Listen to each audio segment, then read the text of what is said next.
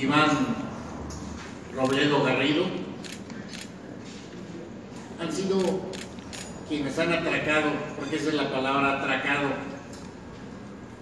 a las horas de la noche o en el día, a la hora que encuentran los compañeros,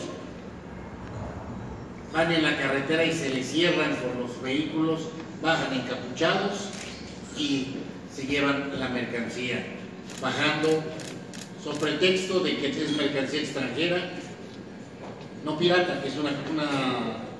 totalmente diferente, que es mercancía extranjera y es mercancía producida en el país muchas veces